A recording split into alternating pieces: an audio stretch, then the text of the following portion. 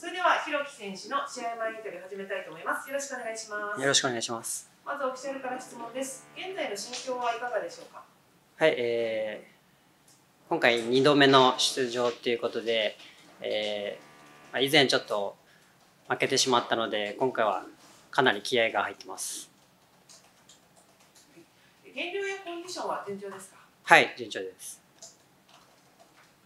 地元沖縄での試合というのはどのようなお気持ちですか？そうですね。あの応援に来てくれる方も結構今回多いのでやっぱり気持ち的にも頑張ろうっていう気持ちはありますね。対戦相手の印象を教えていただけますか？はい。えーそうですね。僕とは真逆のタイプで結構スピードだったりとか、えーまあ、ステップワーク使ってくるタイプなので、えーまあ、僕は、まあ、僕なりの試合のやり方でもうやるしかないなとは思ってます。ご自身でどんな試合展開になると予想しますか？そうですねやっぱりポイントを取ってくる選手だと思うので、えーまあ、相手は距離を取ってポイントを取ってくると思うんで、まあ、僕がしっかり潰しに行きたいと思います。はい、ありがとうございます。オフィシャルからは以上になります。その他ご質問ある方いらっしゃいましたら、媒体名とお名前とご質問をお願いいたします。ご質問ある方いらっしゃいますでしょうか？大丈夫ですか？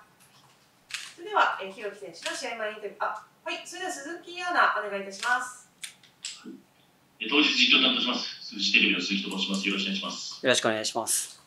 あのさっき真逆のあの寺山選手は真逆のタイプという話をしたんですけども、あのご自身こう自分の持ち味、自信のある戦い方っていうのはどういうところだったんですか？そうですね僕の場合は、えーそんなにステップワークを使うタイプじゃなくて、えー圧力をかけてパワーでねじ伏せるようなタイプだと思っているのでそうですね今回もそのパワーとえー圧力で倒していきたいと思ってます。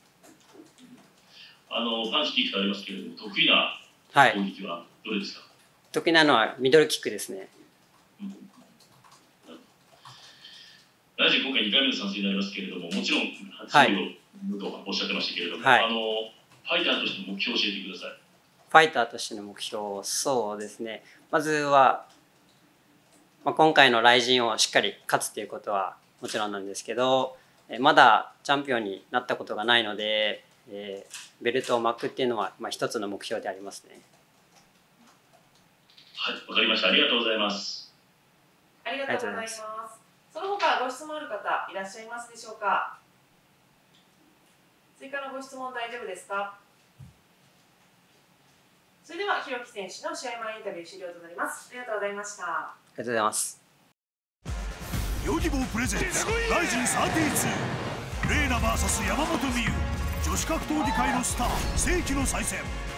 格闘メジャーステージが11月20日ついに沖縄初上陸。